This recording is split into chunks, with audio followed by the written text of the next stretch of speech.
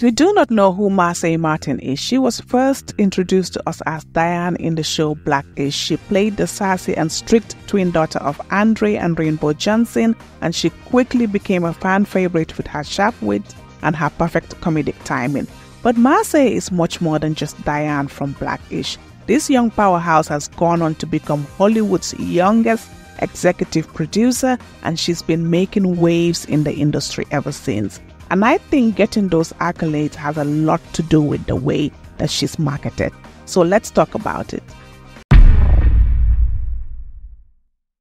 To talk about Marsai, we first have to talk about the elephant in the room, which is the child star phenomenon. Hollywood has a long and let's face it, pretty troubling history when it comes to child stars. We have seen countless young adults struggle under the weight of early fame, but it's where it gets interesting. It seems like Marsai and her team seem to have studied that history and they said now we are doing things a bit differently.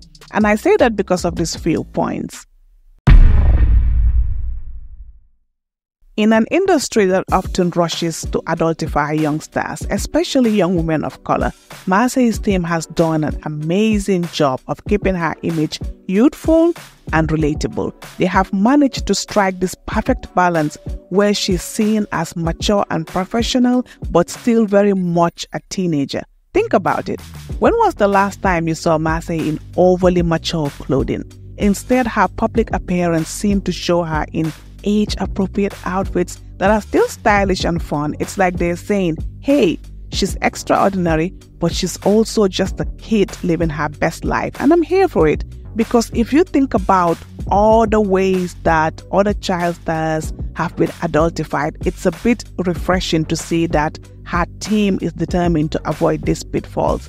And there's so many ways it seems they're doing that, which we'll cover on the next points. One thing that I absolutely, absolutely love is how the focus is on her achievements rather than her appearance. Don't get me wrong, Marsai is a beautiful young woman. She's very, very pretty. But her team doesn't seem to make that the center of attention. Instead, they seem to highlight her achievements more her accomplishments, her intelligence, and her business acumen. Remember when she made those headlines about becoming the youngest executive producer in Hollywood history with her film Little? I've watched Little, by the way. Have you watched it? It's actually feel good. It's a really feel good type of movie. But that's the kind of publicity that really stands out. They're just not positioning her as a pretty face or a cute kid actor. They're positioning her as a force to be reckoned with. It's like she's here, she's an actor, but she's also a mogul in the making. And speaking of mogul in the making, let's talk about how they positioned her that way. It seems like I've already said that they, this isn't just about acting. It's about building an empire. You can see that from her production company, Genius Productions, to her nail polish line. They're showing that, you know, she's a savvy entrepreneur as well. And in an era where social media people show, you know, themselves or the lifestyle or other things that have nothing to do with what they are selling, I think it's important that they kept highlighting on that. Now let's talk about social media.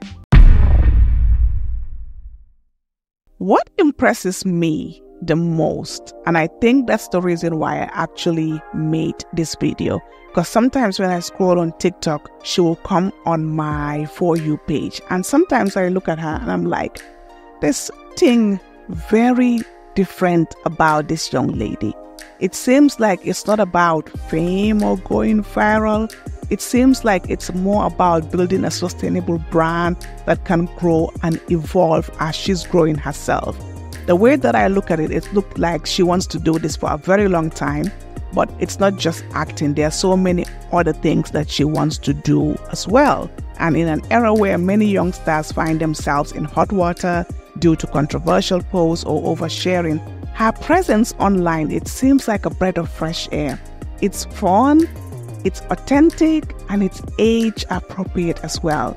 It seems her team allows her personality to shine without crossing lines. You can see her goofing around, which she does, she shares behind the scenes, and then occasionally she can use her platform to talk about important issues. but it doesn't feel forced. It's not like she's been pushed in our face or being forced to us. It just feels very simple. It's like a masterclass on how to handle a teen star social media presence in this age that we're in. And as we continue to watch Marsai grow on her social media and in the public eye, it seems like there's one thing for sure. She is changing the game and she is positioning herself a bit differently for the next generation of youngsters. What do you guys think? Do you agree that Marsai's marketing is on point or do you see it differently? I believe I saw somewhere online that it's her mom that's behind her marketing. I don't know how true that is. So if you know who's behind her marketing, share it in the comments. Make sure you subscribe to the channel. I do deep dives in the world of entertainment and marketing. So marketing and business is something that I enjoy but I try to bring entertainment as well because that's also something I enjoy. So I bring them together. But until next time, Knowledge Seekers, make sure you share this video and like and subscribe.